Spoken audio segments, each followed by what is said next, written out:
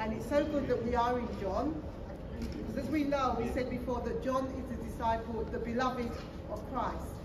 He's a disciple that says he's, he's, he's given himself the title, the disciple that Jesus loved, which is a bit presumptuous, but Jesus loved all his disciples, but John was really close to Jesus. You know, we've got lots of friends, we've got friends, but we've got a few very close ones who are very close to our hearts. And this is how it was with Jesus and John. Mm. So this is why John is able to, when I um, go through John, it's a small book, it's one, two and three, but it's so full of so much. I find it quite hard to get through because it's like every other sentence, there's a really great deep morsel in it that you can um, find the love of God and who Jesus is and what he want, how he wants us to be. So I've, I've found it quite hard to get through this quickly or to shorten shorten it to fit into like half hour. That's probably that's why the first one I did in two bits because it's there's so much in it. Anyway, what we'll do, we'll go straight to it. So um, it's 1 John 3. Um, this letter continues in the same theme of sin and being one of God's children. It's just the same theme all the way through. And John points out that these two things are not compatible. A, chil- a child of God and sinning, they're not compatible. But by the end of the um, book, so by the end of the letters, um, John actually, it might be a bit confusing in the middle, but by the end of it, John actually tells you how you can live without sin. And as we said before, in the first, in the second, uh, 1 John 2, or is it 1? 1 John 2, it says we've got an advocate with the father. So that we sin, we've got someone to speak on our behalf. Mm. So this is what you must bear in mind, because this 1 John 3 is quite deep, and it talks a lot about sin, but it's not to condemn anyone. So let's jump into it. Okay, I'm going to read it and then I'll go back um, verse by verse. Behold, what manner of love the Father has bestowed on us, that we should be called the children of God. Therefore, the world does not know us because it does not know him. Beloved, now we are children of God, and it was not yet been revealed what we shall be. But we know that when he is revealed, we shall be like him, for we shall see him as he is. And anyone who has in him purifies himself just as he is pure. Whoever commits sin also commits lawlessness, and sin is lawlessness. And you know that he was manifested to take away our sins, and in him there is no sin. Whoever abides in him does not sin. Whoever sins has neither seen him Mm. nor know, known him. Little children, let no one deceive you. He who practices righteousness is righteous, just as he is righteous. Mm. He who sins is of the devil, for the devil has sinned from the beginning. For this purpose the Son of God was manifested, that he may destroy the works of the devil. Whoever has been born of God does not sin, for his seed remains in him, and he cannot sin because he has been born of God. In this the children of God and the children of the devil are manifest. Whoever does not practice righteousness is not of God, nor is he who does not love his brother. For this is the message that you heard from the beginning, that we should love one another, not as Cain who was of the wicked one and murdered his brother. And why did he murder him? Because his works were evil and his brother's righteous. Do not marvel, my brethren, if the world hates you. We know that we have passed from death to life because we love the brethren. Mm. He does not love his brother, sorry, he who does not love his brother abides in death. Whoever hates his brother is a murderer, and you know that no murderer has eternal life abiding in him. But this is, but by this we know love, because he's laid down his life for us. And we also ought to lay down our lives for the brethren. But whoever has this world's goods and sees his brother in need and shuts up his heart from him, how does the love of God abide in him? My children, let us not love in the word or in tongue, but in deed and in truth. Mm. And by this we know that we are of the truth and shall assure our hearts before him. For if our hearts condemn us, God is greater than our hearts and know all things. Beloved, if our hearts does not condemn us, we have confidence towards God. And whatever we ask, we, sh- we receive from him, because we keep his commandments and do these things that are pleasing in his sight. And this is his commandment, that we should believe on the name of his Son Jesus Christ and love one another as he gave us command, the, us commandment. Okay. Right, that that's quite that's really heavy. Mm. That's very deep, and we're going to dig into it now. Mm. And it's taken me five pages. We'll see how much we can get through. Amen. Right. This letter could. Oh no, I've done that already. Um, where he says, "Behold, the man, the manner of love the Father has bestowed." That's a, that word bestowed. It means that it's something given and not earned. We don't have to earn Father's love. He gives it to us freely. He says, "Freely I give it, freely you receive it." That's what bestowed means. So it's quite a powerful word. I've given you this. I don't need nothing for it. You don't have to prove anything. Mm. It's a gift I've given to you. Oh, I've got to take my jacket. I'm sorry. I'm. You're pretty hot already. Yes, really- Give me. Um, um, I'm just going to give Sister the, the scriptures so we grab them up. I've got to do that.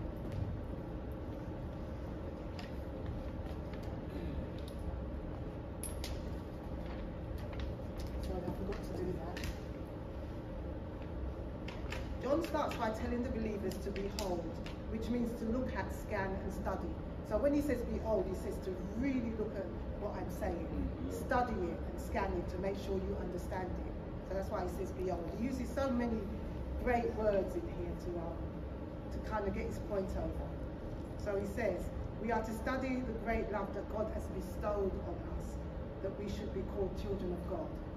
So we're, we're called, because we're born again and we've accepted Jesus as our Lord and Saviour, we are the children of God. Mm. As long as you believe that in your heart and confess it with your mouth, you are a child of God. There's days that you might not feel it, but it's still not the truth. The truth is you are a child of God. So when you look at this, when we go through this, look at it from that position. You are a child of God. Mm. Okay? So when we talk about sin, you are still a child of God. Mhm. That doesn't change. Amen. Okay. Okay, verse 2 to 4, it says, um, okay, we're going to go to Romans 8 6 just to see where, again, it said that we are the children of God, just to really let you know who you are. Yeah. It says, the Spirit Himself bears witness with our spirits that we are children, Children of of God. God. So as long as we confess that Jesus is the Son of God and believe in our heart, we have the Holy Spirit living in us, even though we don't feel it. Still living in us. That spirit, that's that new seed that's been planted in us, the Mm. Spirit of God. So we are the children of God. So if we've got the seed of God, we are. Seed produces children. Yeah. Sorry, God's seed produces children. seed produces fruit. God's seed produces children. Absolutely. We should strive to be like Jesus. All of us have a long way to go and will not be like him until we see him. Mm. So none of us will be like him No. until we actually see him. Yes. So we mustn't condemn ourselves that we're not doing this this day. We're not, you know, we're not perfect because we will not be, but we must always be striving to be. And we have, what did, what did it say? We have an advocate with the Father. We've got a helper. We've got the Holy Spirit. Mm. The Holy Spirit. That's so important in the Christian's life to have a baptism with the Holy Spirit to help us to do what Jesus did. We can't do it on our own. Our flesh will always take over.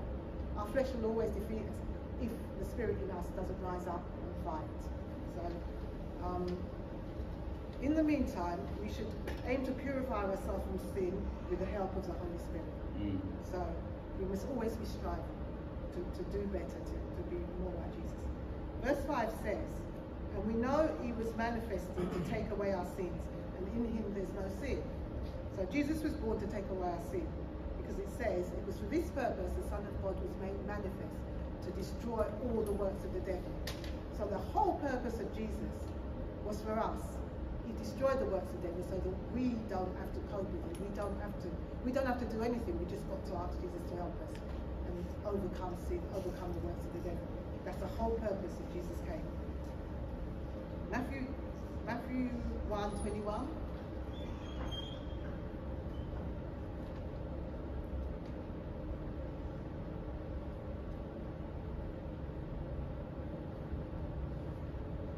It says, You shall call his name Jesus, Mm. for he shall save his people from their sin. Couldn't be more clear than that, could it? Yeah. That's Matthew 1 21. Mm. Jesus takes away our sin in the, se- in the sense of taking the penalty of our sin. Mm. This is immediately accomplished when one comes to faith by faith to, to Jesus.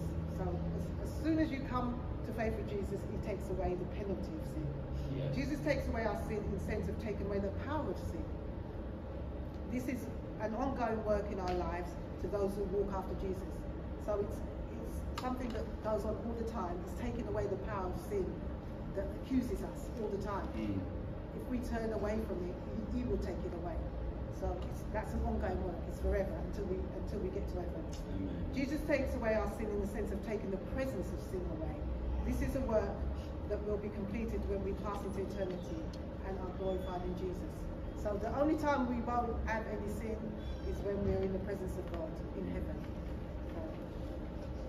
When when John says, um, "Do not sin," it means habitual sin. It means a sin, the, the sin that you kind of know you're doing, but you you've come to terms with it. You've thought to yourself, "Oh, it's okay with God. It's okay. I can I can do this and get away with it." That's what they call habitual sin. It's not the sin when a person just occasionally sins. It's not the same thing. John warns the believer in verse 7. Let's look at verse 7. He says, little children, see he's calling us, he's calling us little children because at this stage he believes that we, we need to be taught like little children. We need to be taught about this, this particular subject. Little children, let no one deceive you. You practices righteousness is righteous, just as he is righteous. He who sins is of the devil, for the devil sinned from the beginning, for the purpose the Son of God was made manifest. So um, John is saying, he's describing um, those who sin habitually. It's not saying occasional sin. John warns a believer to let no one deceive them, because there were many false teachers that distorted the gospel around that time. Just as it is now, it's no different. There's many false doctrine, many false teachers now. If we are made righteous through our faith in Jesus Christ, it will be seen in our righteous living.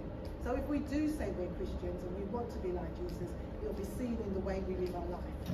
I mean, as I said, it won't be perfect, but you will see that people are trying to live a righteous life. Mm. The most important thing a believer can be is in right standing with God. We have every resource we need to live a righteous life. We have everything we need. We have the Word, we have the Spirit, and we have the knowledge of Jesus. We have everything we, we need. And we have a conscience. We also have a conscience before God. As a believer, we know, even when we were believers, we know when we're doing wrong things. We knew we could, we didn't, we mustn't steal. We knew we mustn't um, swear. Even as children, we know we mustn't swear, but nowadays it's like another language. It's like a, it's just like it's just part of the language. Mm. People don't even see that sin anymore, which is really sad. But, but we know, we know, we have a conscience. Amen. We cannot say, we cannot say that be at peace with sin in our life and make excuses like everyone sins that in their life. Everyone has sins. So, uh, people say everyone has sins in their life. This is my area of sin. Jesus understands. Jesus understands that he can deliver you from that.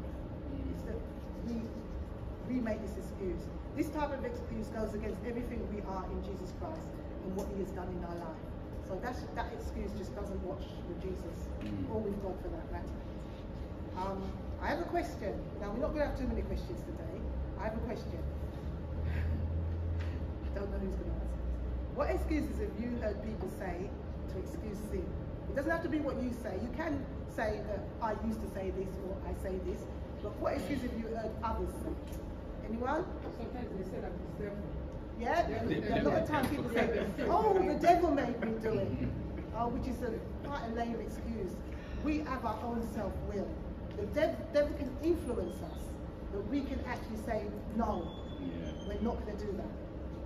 We have our own self-will. So that excuse is, is not right. The devil made me do it. He does influence sin. I'm not, I'm not saying that. He influences our minds for sure. And he influences even circumstances around us. He. So I, but the devil can't make you do anything. Mm. Absolutely. You have the strength to resist Strong.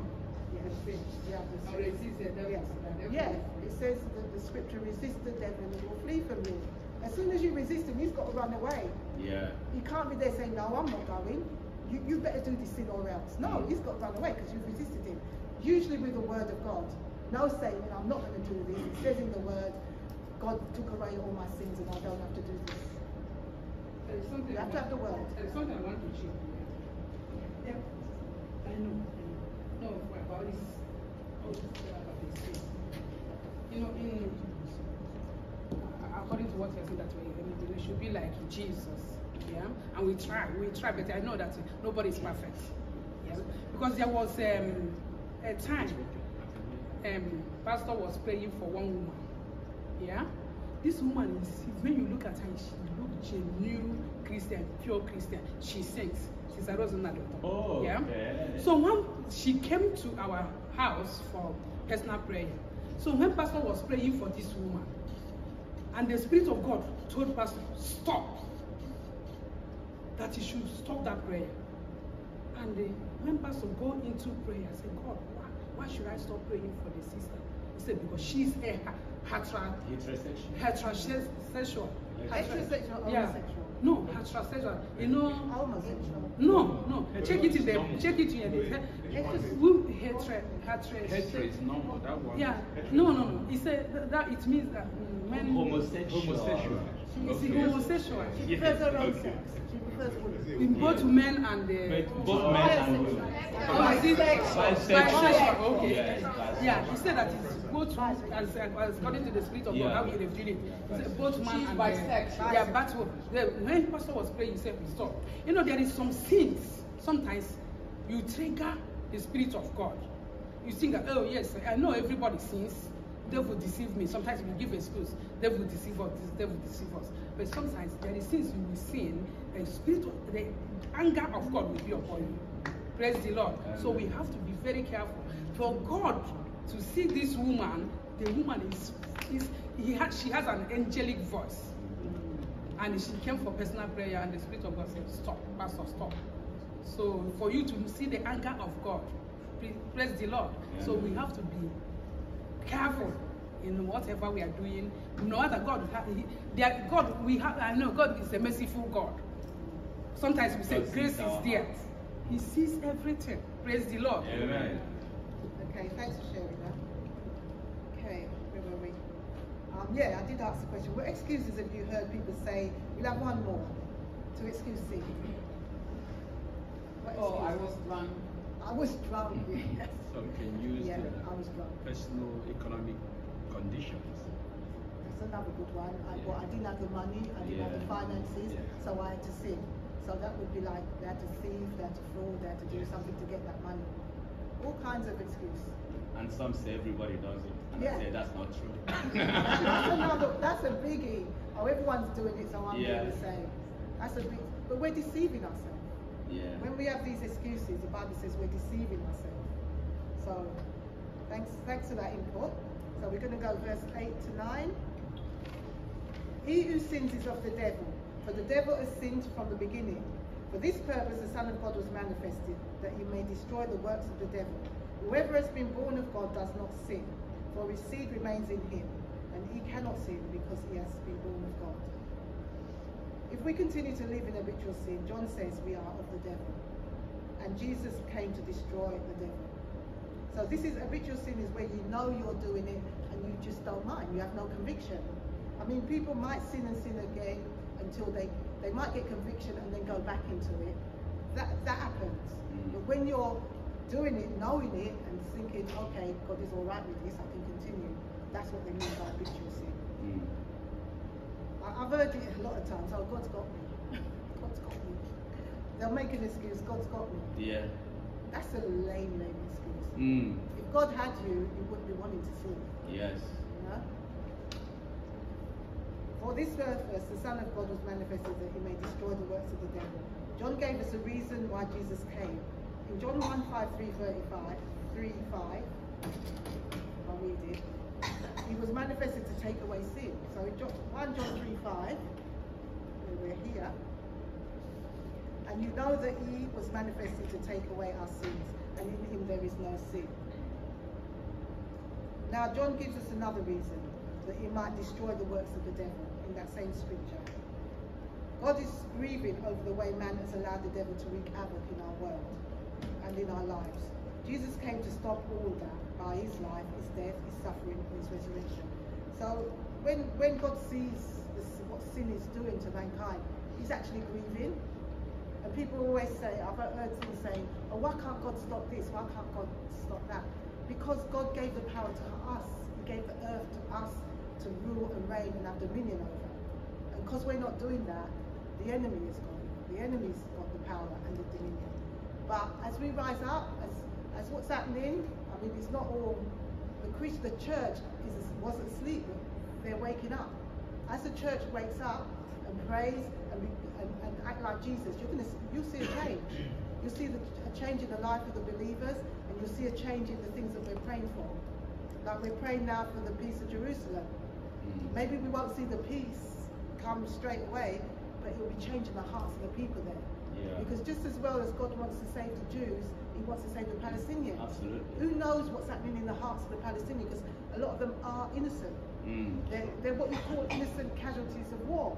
Mm. Just like our government. If our government decided that they're going to go to war, Mm. or they're going to attack another country, and that country retaliates, then we would be the innocents of war. So this is where the people don't look at the argument properly. They either on one side or the other. And it's almost as if now, if you don't believe what what um, Amnesty did was right, you're you're going to be a target. Was was wrong, you're going to be a target Yeah. if you believe that. But all wars are wrong in God's eyes. But people make decisions, governments make decisions. It's not the innocent Palestinian people that are making that decision to go and attack Israel. Mm. It's not them. Yeah. It's the, it's the, it's the government now. It's the, it's the leaders. Mm. So they're innocent on both sides, innocent casualties of war. And you just got to pray for peace on both both both both sides. It's, it's very sad. So God is grieving over what's been allowed how we've learned. Because anything that's that severe is can't be of God. It's got to be of the devil. Anything that kills, steal, and destroy is is not of God. So let's go on to many people are unnecessarily afraid of the devil. That's another thing, fearing that he could what he could do against them. If they only knew that as we walk in Jesus, the devil is afraid of us. Mm. This is what we've got to realize. The devil is actually afraid of us. And he's so afraid of us getting to know who we are in Christ, Christ. and the power we have against him, that he will bring fear. And if we allow that fear to take over, we'll be cowering and we won't get what God's had for us. We won't have that power to Mm. defeat him. So that's why God says in 365 times in the Bible, once for every day of the year, Mm. do not fear. Do not fear. That's a, it says that 365 days. Mm. 365 times for 365 days. So every day, get up and say, I will not fear. I will not because. Jesus lives in me. Whatever the enemy is bringing at me, Mm. I will not have no fear. I will stand up and say, Get thee behind me, Satan. This is how we have, we have to live. Amen. Because many, many fears will come every day. As soon as we get up, there's something. But if we get up knowing that as we get up, the devil's running away from us because he don't want to face us because we're strong Mm. and we have no fear, then we will walk in victory. We will walk in power. It's it's not easy and it's hard to get your head around because fear has just overtaken the world. But we should not fear. Jesus had utterly destroyed all the works of the devil, so we can too. Because we're in him, we're his seed, we are children of God. Just like Jesus was God's son, we are God's children. Mm. And Jesus did all those things, so we can too. Verse 9 Whoever has been born of God does not sin, for his seed remains in him.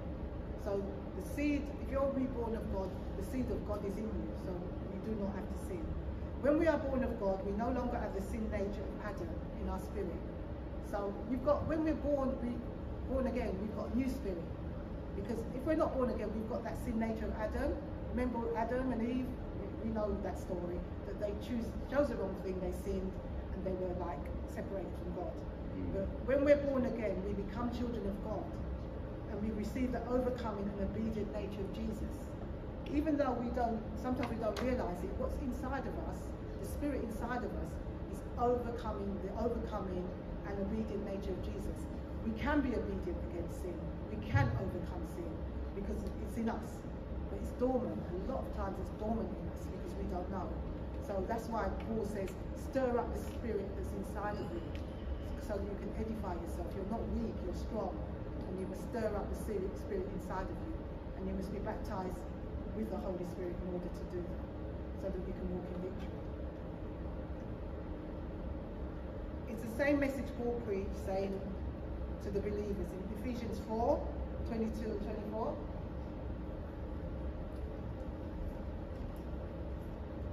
By the way, sin weakens that. that. If, if, if sin weakens the Spirit of God inside of us, Absolutely. it really does. And that's why God doesn't want us to sin. Mm. It says, put off concerning your former conduct. So, you know, when we were in the world, we were sin. We didn't. Conducted ourselves differently to when we're born again. Yeah. That's what he's trying to say. We should be putting off that form and way of life, how we used to live. The old man, which grows corrupt according to deceitful lust. We talked about lust last week. Lust of the flesh, lust of the spirit, and the pride of life. Right. This is what Paul's talking about. And that we are put on the new man, which was created according to God in true righteousness and holiness. So the new spirit that's inside of you is created in righteousness and holiness. So we've got it. We've got it. It's just that we need to use it and put off the old man who's trying to um, squash that spirit. We have to put it off. We have to do it by our own, because we've got free will, we've got to decide that's what we want to do. Verses 10 to 15. Okay. As believers, okay, in this the children of God and the children of the devil are manifest. Whoever does not practice righteousness is not of God, nor is he who does not love his brother. For this is the message that you heard from the beginning, that we should love one another, not as Cain, who was of the wicked one and murdered his brother. And why did he murder him? Because his works were evil and his brother's was righteous. Do not marvel, my brethren, if we the world hates you. We know that we have passed from death to life, because we love the brethren. He who does not love his brother abides in death. Whoever hates his brother is a murderer. And you know that no murderer has eternal life in him. So, as believers, we shouldn't deny the existence of the devil. We shouldn't. We know it because it's biblical. But we shouldn't be obsessed with it. The reality of the devil is a biblical fact, so it's the truth. We cannot we cannot be born again without having love and righteousness. Both of these are essential. So we must have the, the, the right we must have the righteousness, which is the right standing with God, and the love of God. They're essential for the Christian life. Righteousness without love makes one a religious Pharisee. What were the Pharisees like in the Old in the Old Testament? And even in the New Testament, what were they like? They knew the word, but they had no love. They just used to be the, they were like the leaders that had no love. They were the ones who actually um, persecuted Jesus. The Pharisees were the ones that persecuted Paul. Pharisees and the Sadducees. They knew the Bible really well.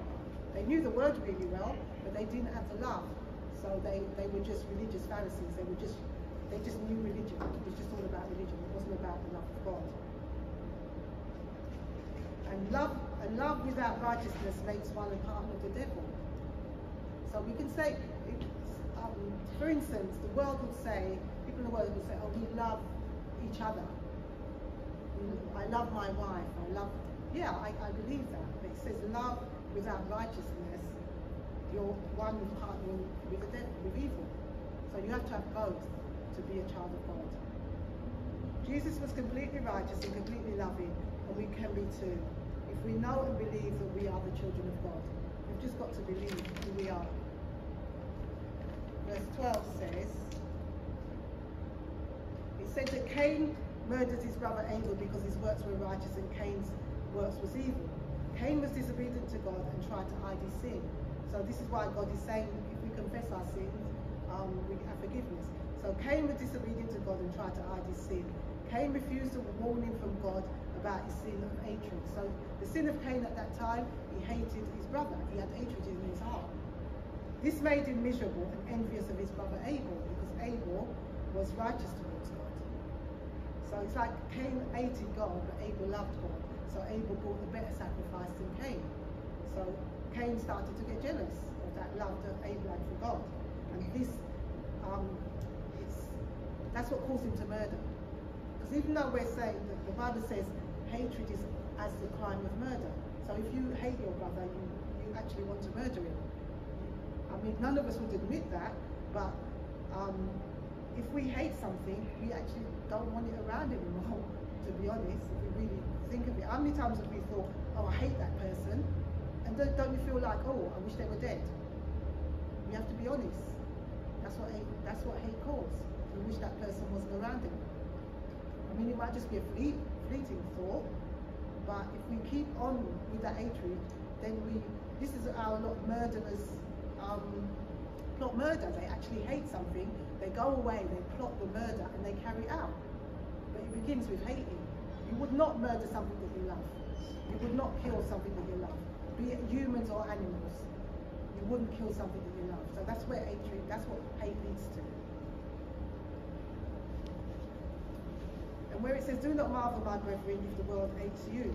We know that we have passed from death to life because we love the brethren. He who does not love his brother abides in death. Whoever hates his brother is a murderer, and you know that no murderer has eternal life abiding in him. Mm. So it says we should not be surprised when the world hates us, but we should be surprised if there is hatred among, amongst the believers. There should not be any hatred amongst the believers, the brothers and sisters. If we hate someone, we may not carry out murder physically, but we wish them dead in our hearts. And that's the bottom line. So, verse 16, is. By this we know love, because he laid down his life for us, and we also ought to lay down our lives for the brethren. So he's just he's just alliterating all that Jesus has done done for us. We should be doing the same for, for each other, brothers and sisters. We ought to lay down our lives for our brothers and sisters by having concern for their welfare and sharing what we have with them. Because it also says here, if you have something that you can share with your brother and you don't share it, it means you don't love them. If you have more than your brother and you see that they're in need and you don't do something about it, it means you don't love them. So it's, it's, it's something that we don't think about, because it's in the Bible, we really have to think about it. We have to think about it. If we hate someone, we make, oh no, I've said that. Let us not love in words alone, but in our actions towards each other. Verse 20. And by this we know that we are of the truth, and shall assure our hearts before him. For if our hearts condemn us, God is greater than our hearts, and knows all things. Beloved, if our hearts does not condemn us, we have confidence in God. So here Paul is saying, if our hearts assure us, we should see this love at work in our lives. we can know that we are of the truth, and, the, and this brings assurance of our hearts before God that we are standing in Him. So if we have, um, we need assurance in our hearts that we're standing right before Him. But if we don't have that, um, if we feel condemned in our hearts all the time, it shouldn't be. We shouldn't be feeling condemned all the time. That's not of God. This is not of God. It's of the devil, who is the accuser of the brethren. That's because we're allowing the enemy to accuse us. We shouldn't feel condemned all the time. We must trust the word of God and be assured that we are right sta- we are in right standing with God and not how we are feeling. Because sometimes our feelings betray us. Mm. And if we go into condemnation, we may, may, may get depressed and say, oh, we'll never be good enough for God. There's no such thing. Mm. We are good enough for God. He doesn't Absolutely. put any standard like that on us. Mm. All he's asking us to do is walk in righteousness, ask Jesus to help us. He sent Jesus, he sent the Holy Spirit to help us. That's all he wants of us. But he Mm. would never condemn us in nothing. But we should, we should, as Christians, wanting to please him. Be wanting to walk in righteousness. Mm. That's something as a Christian we should want. Even though we haven't got it straight away, we should be wanting. So it says, um, we must trust the word of God and be assured that we are in right standing with God and not that we are not with our feelings. Condemnation does not come from God. So no one should leave here condemned by anything, Mm. but know that who we, who we are, that we are children of God and we have an advocate with the Father. Going to verse 18 now. My little children, let us not love in words or in tongue, but in deed and in truth. And this we know, that we are of the truth, and shall assure our hearts before him. For if our heart condemns us, God is greater than our hearts and knows all things. Beloved, if our hearts does not condemn us, we have confidence towards God. So if we haven't got condemnation in our, our heart, it's because we're confident of who we are with God. Mm. And what we ask, we receive from him. So if you come to that stage, whatever we ask of God, we will receive. That's the stage where you get to where you can just pray and God will give you what you ask for, especially if it's good, if it's good for us at that time. It might not come straight away, but if it's good for us, God will give us all the good things. Mm. Um, it says his commandments and does not these things are pleasing in his sight because we keep his commandments and do those things that are pleasing in his sight so once we keep his commandments and do pleasing things it's so easy for our prayers to be answered otherwise sin actually blocks our prayers and this is his commandment that we should believe on the name of his son jesus christ and love one another now we're going back to that again Mm. all hinges on that. Believe it on the Lord Jesus Christ and have love for the brethren, for one another. As he gave us the commandment. And we're done. Like God today. Amen. Didn't put too many questions in, so we was able to get through. Okay. Praise the Lord. Hallelujah. Thank you, Sister Sonia. Question? Anyone? Pastor, do you have one? Question. Yes. Praise the Lord. Yeah. That's uh, The next one is going to be worship. As they are getting ready, let's look back and forth and see if we have one or two questions to put to her. yeah. She's here to help us.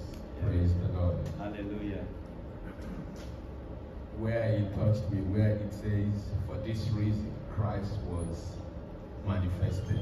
That's a very deep one. Mm-hmm. So we have to know actually why Christ came. He came for a purpose. He did not just come, Mm. he came to destroy the works of who? Of the darkness. Of devil. Praise the Lord. Amen. So when we say the devil ready to do this, oh, it's the devil. But Christ actually came to do what? Destroy. to destroy destroy. the works So how are we still blaming the devil? If everything the devil is doing it for our Father, it's here for one purpose, just to destroy all of it. All the works of the devil. Praise the Lord. Amen. We are free indeed. The devil does not have any hold. Mm. It has nothing. We don't have to blame the devil. Rather, we have to claim. We have to know who we are. We are children of God. Amen. We are completely made. No one has any powers to bring us down. Mm. Why? Because our Father came to destroy Destroy the power of darkness. Destroy the power of the devil. That's why we can stand and say, Father, we love you. That's why He's telling us, go out there and live the same life that Christ led. If your brother is in need, do not close your heart. If you do that, how dare you to say that you love God and that the love of God exists in you? It does not. Praise the Lord. Shall we please rise? Put our hands together to our Lord Jesus Christ as we welcome the worship team.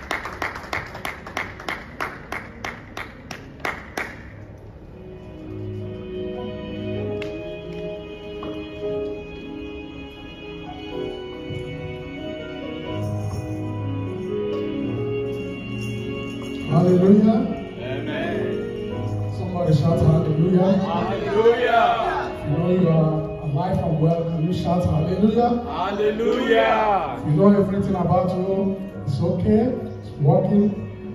And lift up your hands and wave it unto God Thank you, and shout hallelujah. Hallelujah. Hallelujah. Hallelujah. Amen. Amen. The Bible says that where two or three are gathered in my name, that he's, he's what? There. is there with us.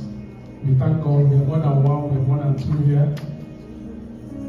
And I know that God is here with us today. Hallelujah. So, Jesus, you are here right now. Jesus, you are here right now. You are here. You are here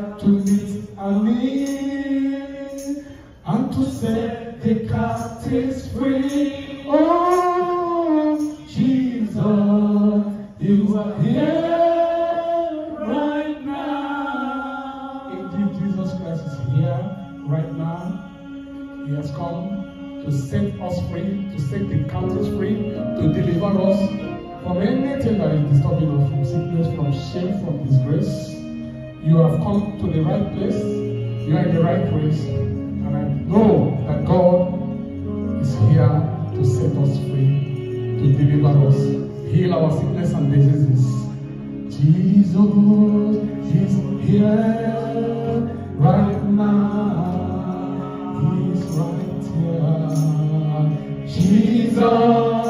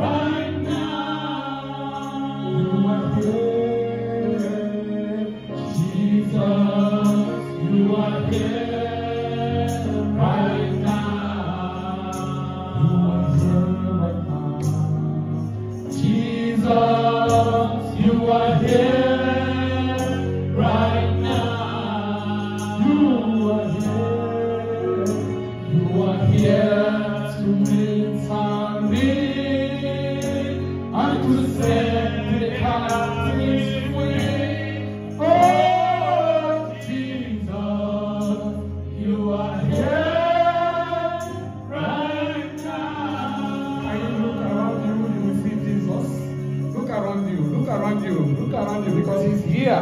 He's here right now. Look around you. Look around you. Look around you. You will see Jesus round about you. He's here to meet all your needs. He's here to set the captives free. We are glad that Jesus is here today. Hallelujah. Praise the Lord. You were called from beginning.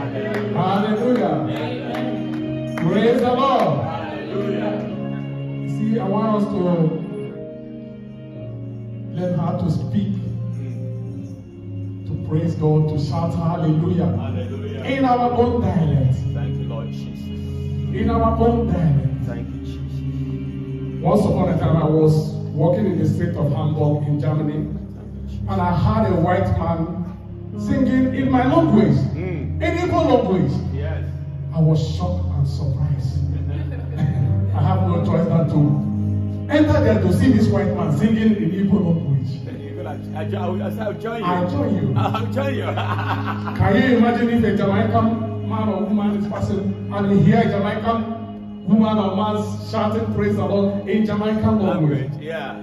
That's great. That's great. That's Be ready to shout hallelujah in your talent. We're gonna do it one day here. Oh yes. We want to sing praise the Lord in Spanish. We want to sing praise the Lord in French. In any language, your own. We have a great God that understands every language, no matter what type of language you think you are speaking, he understands it.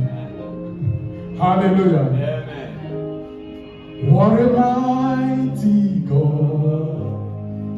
What a mighty God. What a mighty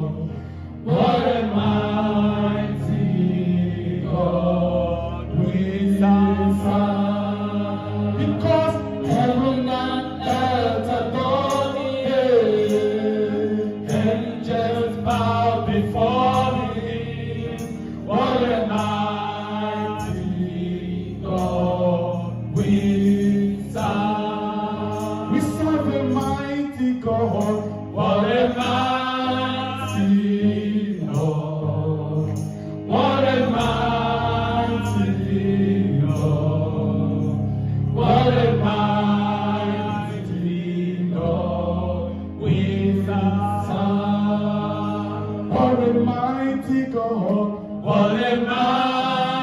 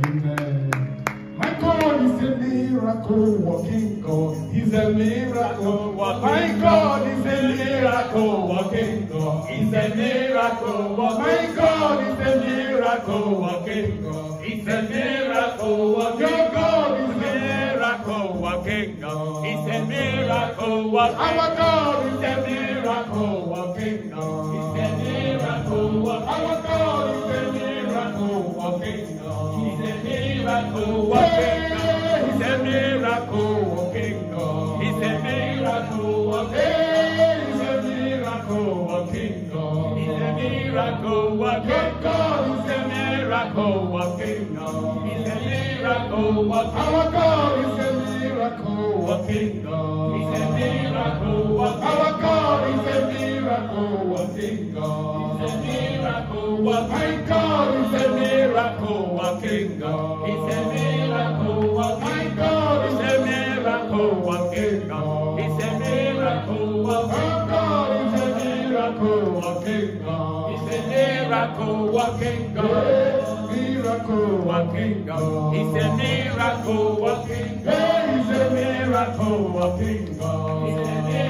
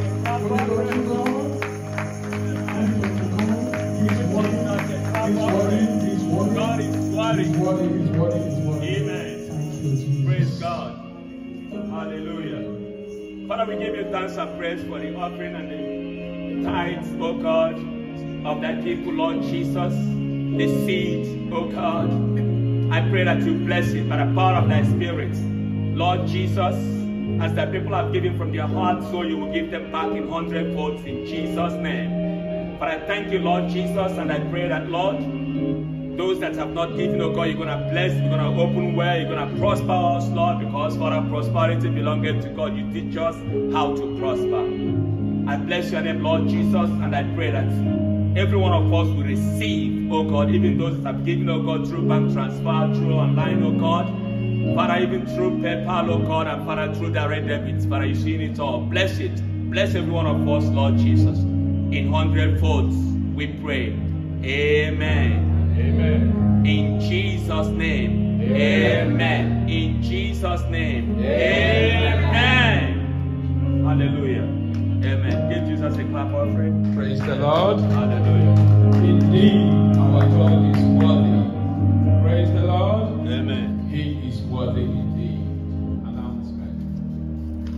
Tuesdays from 1 to 2 p.m. Our pastor will be on YouTube ministering the good news. And our intercessors revival prayer session will be held at the prayer house at 3 o'clock to 4 p.m. on Tuesdays. Our house fellowship is held at Sister Eldefina's house, 6.30 to 8 p.m. on Wednesdays. Thursdays, 1 to 2 p.m. is YouTube, followed by the Healing Ministry, which is held at Sister Sonia's house. The time is 7 to 8.30 p.m. Breakthrough Vigil is held at the Prayer House, Fridays from 11 p.m. to 1.30 a.m. Prayer Warriors session is held at the Prayer House on Saturday, 1.30 to 2.30 p.m., followed by the street evangelism. We are advised to assemble at the Prayer House and depart to different locations as directed, but the time is 3 to 5 p.m. And then on Sundays, from 10.30 in the morning, we are here to worship our God. Shall we please rise and put our